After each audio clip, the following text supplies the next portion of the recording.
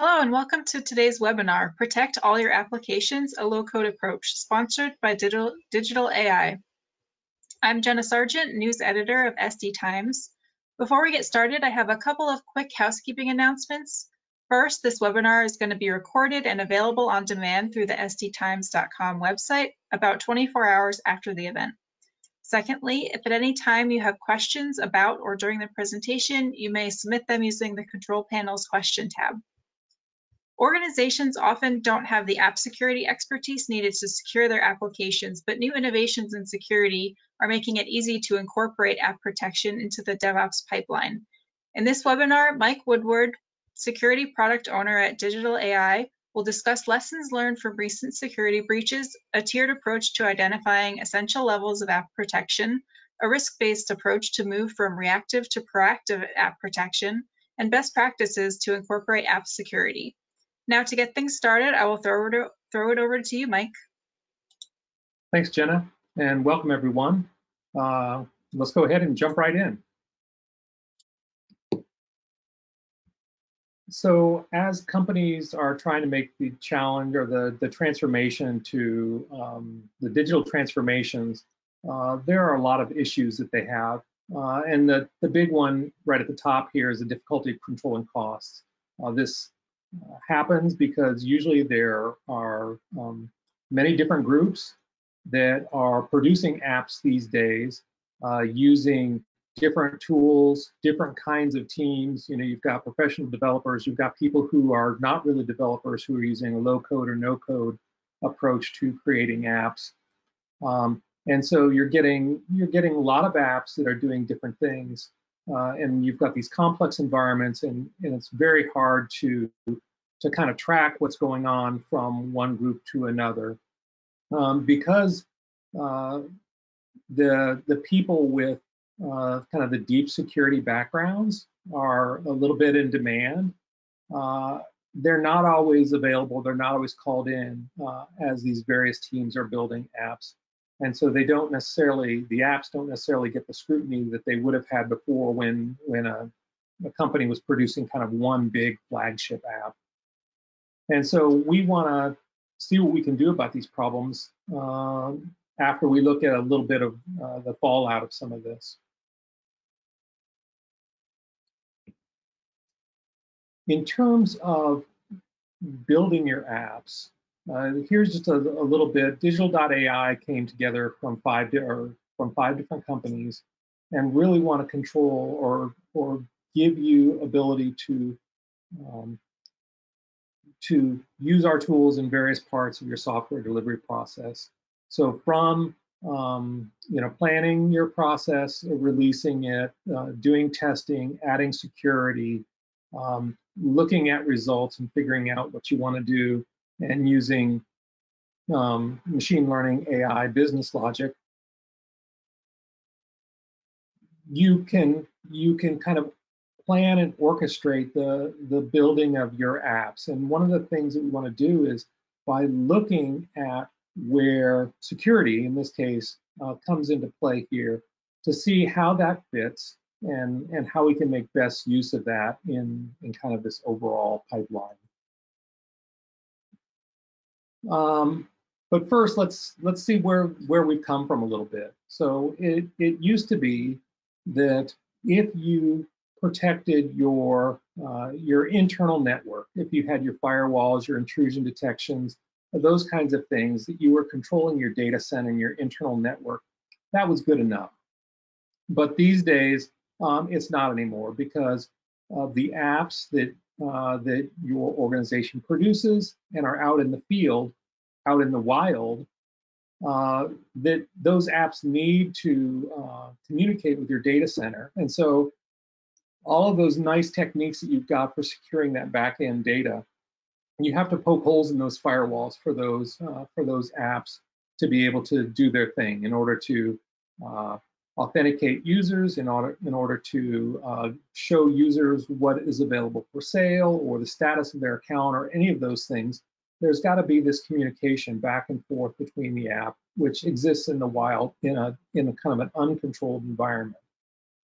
And one of the things that I like to, to say is that when you uh, give an app to a user, uh, what you're doing is you're giving them a working example of how to use your APIs, how to access that backend data. And that's not a that's not a very good thing um, unless you do something to protect uh, your apps and your data um, from people who are going to look at that and trying to look for the vulnerabilities. One of the things that uh, that we ask is, you know, do you know if your app is under attack? And sometimes the answer is no, I, I don't know, which is kind of the scariest answer uh, because you don't know what's happening there. Uh, another answer that we hear is, well, it, it probably is, which you know shows that somebody is maybe thinking a little bit more uh, about the problem or has some more concern about it, but still doesn't know uh, exactly what's going on, um, whether they're really being attacked or not, uh, how vigorously, what kind of attacks are being used, and and we want to we want to get to the situation where you can say, yeah, I, I know I've got apps out there. They're you know they they're being attacked and they're being attacked in these ways uh, most recently, and you know I've got another set of mitigations that are going to go against that.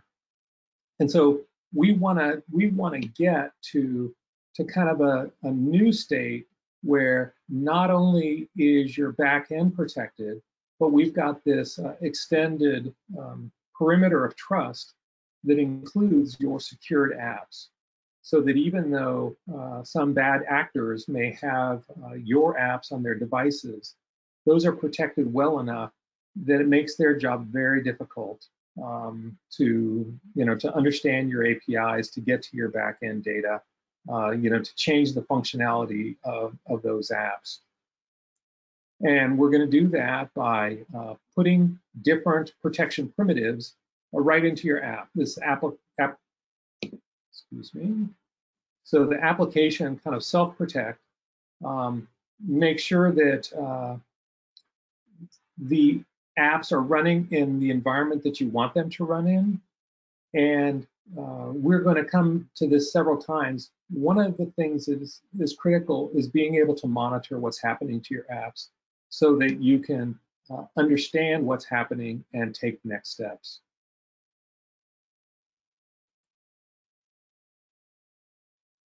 And so if we get to the point, you know, is your app under attack? Yeah, probably is what, what's happening.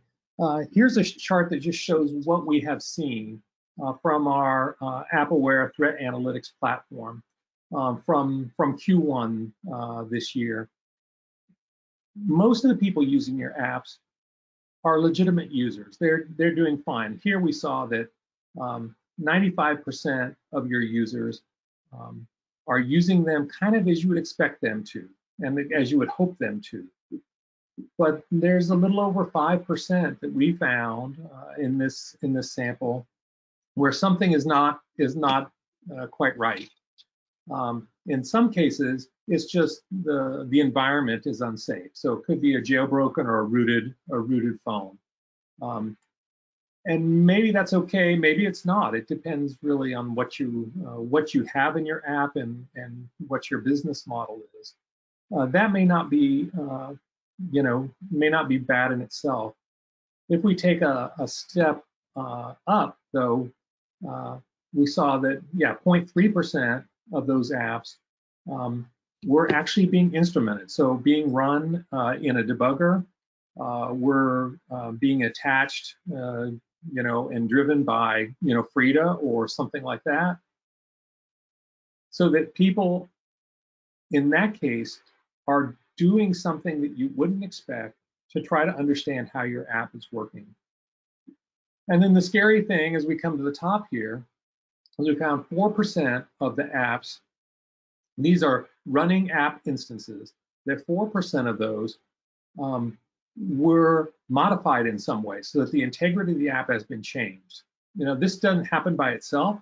Somebody has gone in with a, you know, hex editor, you know, they've decompiled or disassembled your app, they've found something they want to change, they've made a change to it, and then they're running it. And so uh, those are those are, you know, easily identifiable as as attacks. And certainly, you know, you want to be aware of what's going on here. But when you see something like that, uh, you want to make sure that uh, they're not taking the ne next step from compromising your app to compromising uh, your your valuable backend data.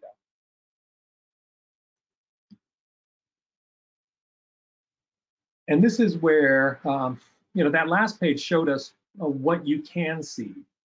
Uh, here's the situation for most apps, though, is that uh, you have an idea for an app, you develop it, um, you know, maybe you protect it to whatever level you think is right, you deploy it, kind of throwing it over the transom, and now um, what's happening to it? in, the, in most cases, uh, organizations don't really know what's happening.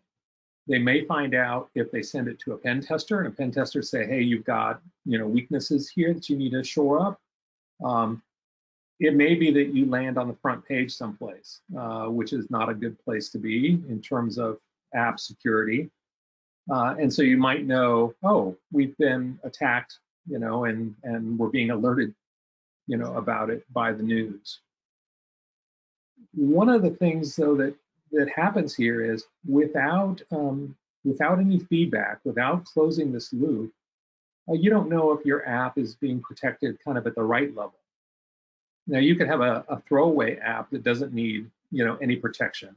You have maybe some a few uh, flagship apps uh, that you know need strong protection, but there's a bunch of there are a bunch of apps in the middle usually where maybe they need some, maybe they need more, but but we don't know because we don't know what's happening.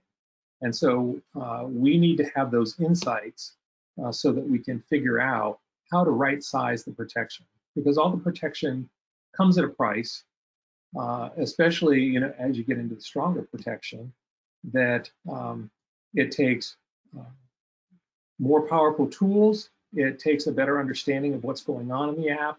Um, there are trade-offs between the performance of the app and and the protection levels. And so all of that takes time to figure out what to do in terms of protecting an app, and and it's not free.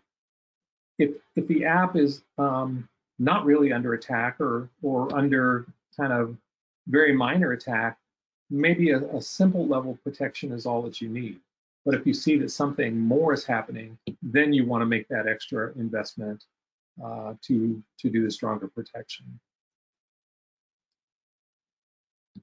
And so this year, uh, Digital.ai has rolled out essential app protection. We have had kind of premium app protection products for a long time uh, to, to take care of that upper tier of apps. But one of the things that we found is that more and more uh, companies have uh, more and more apps. Not all of them are as high value as the ones that we have protected in the past. And so uh, a tool like Essential App Protection um, can give you that first level of protection so that you can uh, decide, um, you get some feedback and decide what you want to do. In this case, uh, you've got your, your Android or your iOS apps, and without, uh, without doing any real configuration at all, um, that we can inject a library into your app uh, that itself has some mechanisms in it to detect attacks and to securely link it to your to your app so that uh, if it detects uh, that you're running in an unsafe environment, uh, you know, there's a debugger, there's Frida, there's there's um, uh, you know, jailbroken or rooted device, uh, that, that that can be reported, and it uses threat insights um, to, to do that reporting. Um, it can also look to see if the integrity of the app has been changed and also report that so that there are various mechanisms that are put in here. Um, and then when it's connected to your app, so that now when your app runs, it can report to our backend servers that another instance, excuse me, that another instance of your app is running and here's the status. It's either running in a good environment or a bad environment. Um, as, as the app runs, uh, it can report whether or not any uh, integrity issues are found. Excuse me. Um, and so this all comes uh, kind of a, a very low uh, cost of entry.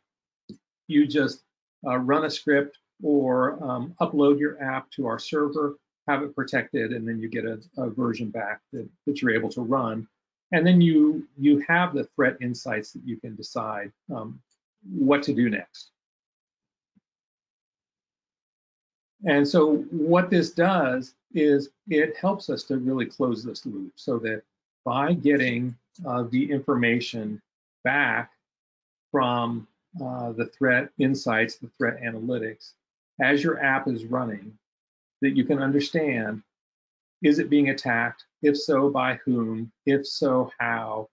And then you can decide um, what to do to to uh, to combat that, if anything. Maybe it's it's your app, is being attacked, but it's so low level that it's not bothering you, and you just want to continue. Um, if it's being attacked more vigorously, um, you may want to to make um, some changes here. Or if you if you decide that your app um, is being attacked sufficiently, that the IP involved or the access to the backend data uh, is a big enough threat uh, that you want to move from from this product up to one of the premium protection products. Um, but the only way that you can make that decision, and like I said before, there's cost involved in terms of the the running of the app because of the performance is going to be um, is going to take more of a, a, hit in terms of degradation. Usually not very much, but um, something. I mean, that protection has got to run someplace. So you can decide: Do I want to move up and have stronger protection, or do I not need it? And I'm good enough with just kind of the single click uh, protection that I that I've got here.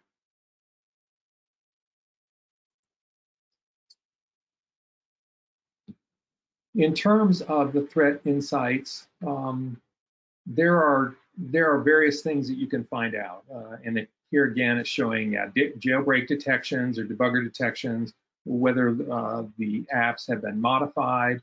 Um, you can also connect uh, user information to the events that come back so that you can see uh, what users are, um, you know, are attacking your apps or running it in unsafe environments uh, to build up kind of a, a picture of, of who those users are and decide what to do.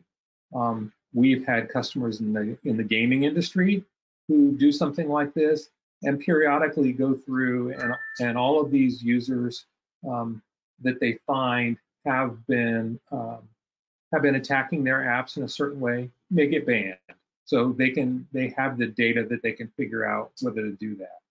If you've got a, a banking or financial app, it may be that uh, it's okay for a user to run in an unsafe environment, but you want to have uh, kind of a second level of authentication if that's the case.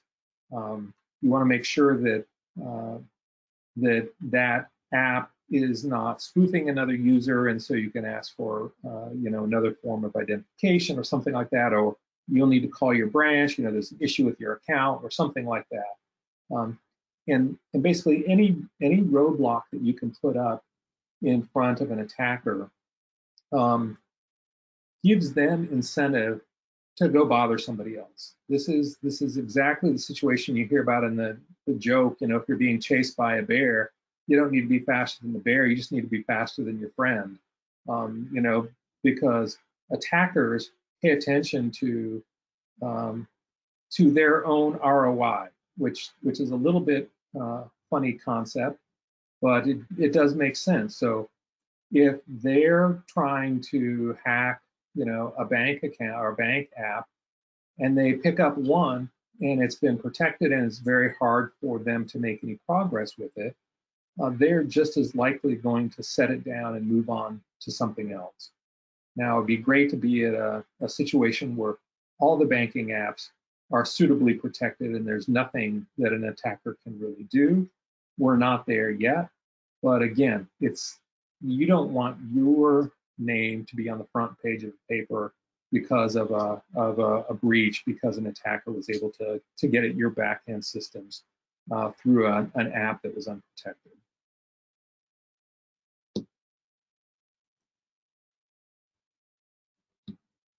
And again, there are there are different levels of threats from kind of looking at the environment, whether it's safe or unsafe, whether uh, your app is being uh, analyzed, um, you know, with with a debugger or uh, a, a, framework like Frida, whether your app has actually been tampered, and um, using using our tools or other tools, you can respond to um, these kind of different levels of threats and you can do a you can respond in different ways. So like i said before you could ask for more id you could you could force um, you know a, a, second you know form of authentication. Um, you could shut down the app. You could uh, remove some functionality from the app and only let uh, the the user do certain things if you see um, you know instrumentation going on and if you see, you know, the integrity is is um, you know compromised, you can just turn off the app completely. So there are different things that you can do here, and and kind of how you do the protection can either be simple with something like essential app protection, or it can be it can be trickier um, to make it harder for an attacker who may be looking uh, at how your app responds to the things that they're doing harder for them to kind of get cause and effect.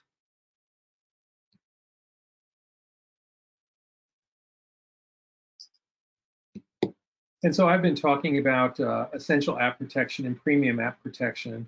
And here's just a little chart that, um, that, that shows a little bit of the difference.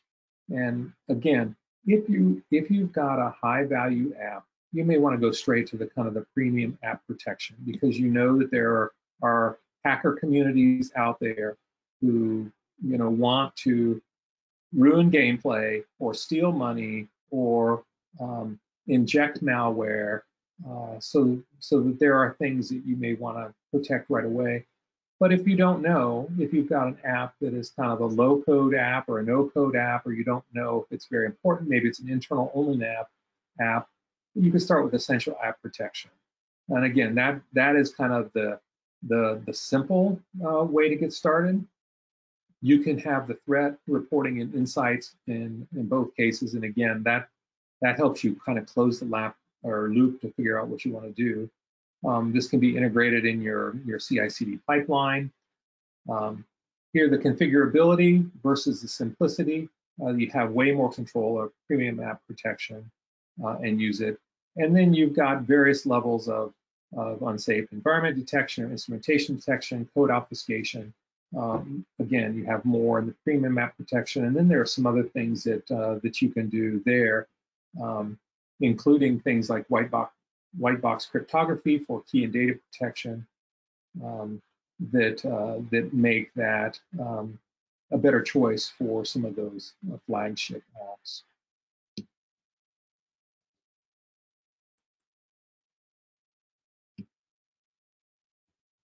So kind of rounding rounding this out and, and summarizing here that uh, that when you have an app, kind of regardless of what the app is, uh, it's good to layer some kind of protection in it.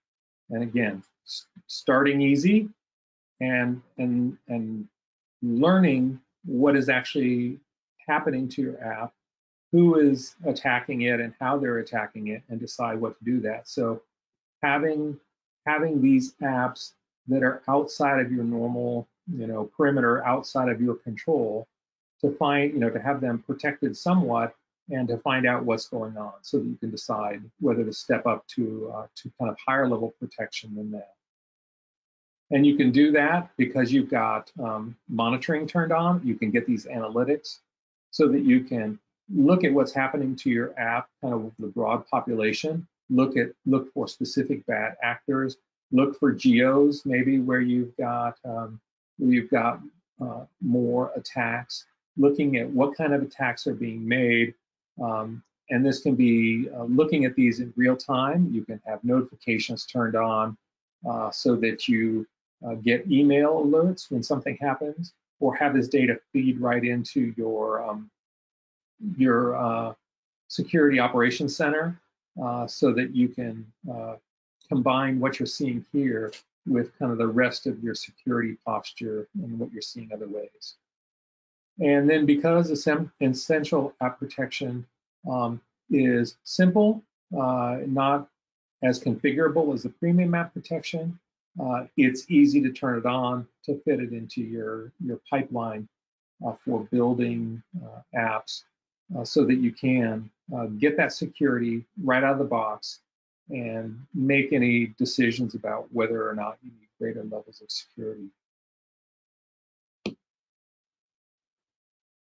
And without asking any questions in the meantime, the information goes pretty quickly. So uh, Jenna, we're, we're ready if you've got questions for me. Yeah.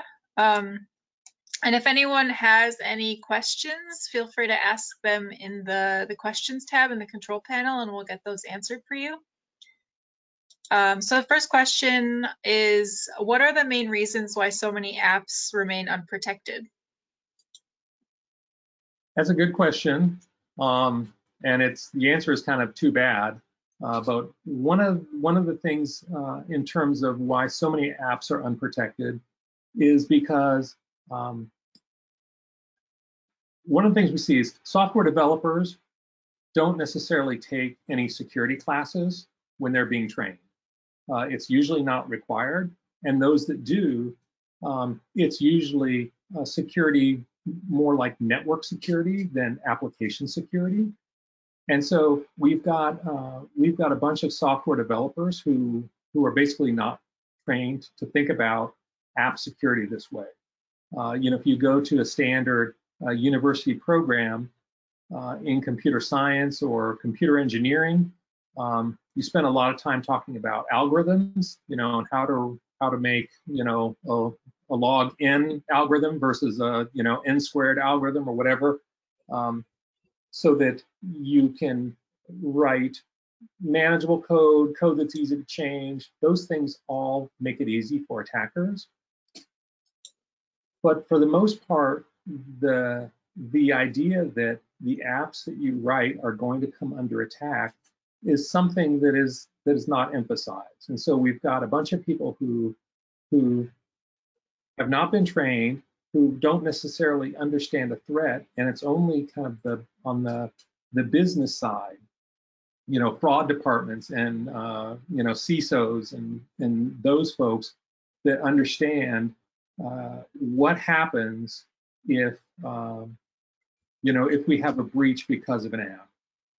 And so um, there is we don't have kind of the education or the mindset in general for the people that are writing the apps. We don't have enough security engineers who are, you know, available to do this. And and frankly, applying uh, protection to apps has been uh, difficult enough that um, that it's been reserved for only kind of the highest value apps. And so uh, having something like an essential app protection where there's a low price price point, a low barrier to entry. So, you know, easy to to um, you know use without any configuration uh, is hopefully going to address uh, the you know kind of the the comprehensive protection uh, necessary you know in our in our current environment. What are some of the, the main pain points between DevOps and security teams? And do you have any advice for overcoming those those points of friction? Um, so one of the one of the problems is you know the developers um, are trying to get you know they're trying to get their apps out the door, um, and so uh, they want to go fast.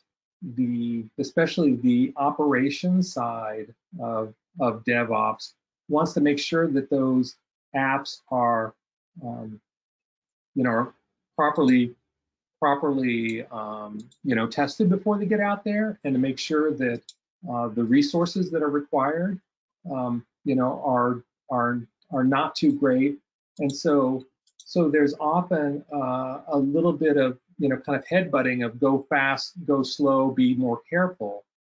And and in terms of adding security to the mix, so like DevSecOps, um, you know, to figure out um, how to put protection in so that we're not bogging down the developers unnecessarily. We're making the uh, the operations folks happier uh, because um, the apps are going out the door um, with that security. And so something something like a simple protection, like I said, essential app protection we've been talking about here, um, can help alleviate some of the some of the friction between those groups. Mhm. Um, how would you recommend prioritizing which apps to protect first? Okay, um, it's probably more of an art than a science to figure that out, but there are some easy things that you can just do right away. Um, you know, if your app is uh, connected to, uh, you know, medical device, something like that, where where a compromise of the app, you know, can can cause harm to human life, I would say that one is instantly kind of in the in the premium app protection category. Um, if uh, there is kind of a, a financial component to it, so if compromise to an app gives somebody uh, access to a bank account, uh, something like that, you know, that's something where, you know, it's, it's an obvious choice for an attacker to go there. And so uh, kind of a, a, you know, that should be uh, protected uh, first. If there's one, if there's an app that um, that is kind of uh, providing, you know, a revenue stream for your country, or company, um, you know, that's that is one. And then down farther on the list are probably those um, the, if you've got internal apps or you've got um, uh, a lot of, you know, I know a lot of games that there's kind of a social app component um, that doesn't necessarily um, coordinate with the gameplay, but it's just a way for users to get together. Something like that may be uh, a, a, lower, um, you know, kind of lower on the priority list. But again, I mean, I, I, said at the beginning, it's more art than science. I mean, those are some kind of pretty cut and dried rules. But then if you look at an app, you may have um, you may have kind of a simple app that uses some of the same APIs or that still connects to the same authentication as your premium app. And so even though you think of an app as, oh, that's a simple thing and it's really not doing, uh, you know, anything like, you know, our premium app, because it's using some of those APIs, it may need the same amount of protection. Because again, if, I mean, you could, if you lock your front door, you know, multiple times, you have an alarm on it, but you leave your back door standing open or you leave a window, you know, cracked open, uh, the attacker is not going to, you know, just beat on the front door to try to get through. They'll look for kind of the easiest entry. And if you've got um, an app on an Apple platform and you've got an app on an Android platform, and one is protected and one not, one is not, but they're using the same API, the attacker will will discover that and they'll go for the one that's not protected. Um, if you've got a simple app and a more you know, a more, you know, kind of premium app, and they're using the same APIs, you know, attackers will discover that and they'll go for the one that's uh, that's not protected. So, so there are some obvious things, and then you know the the lesser things, but but I guess in in especially in a low code or no code uh, app scenario, you can't just say, oh, you know, the people that did that are, you know, from you know, this other department, not really developers, they're not doing anything worthwhile in terms of our revenue stream for, you know, for the organization. And so we can leave that one alone. May not be the case. Got it. Well, I don't see any other questions in here, so I think we can start to wrap things up. Um, thank you, Mike, for a great presentation. Again, everyone, that was Mike Woodward, Security Product Owner at Digital.ai. I would also like to thank Digital.ai for sponsoring today's webinar, as well as the attendees for joining us. Until next time, I'm Jenna Sargent. Thank you.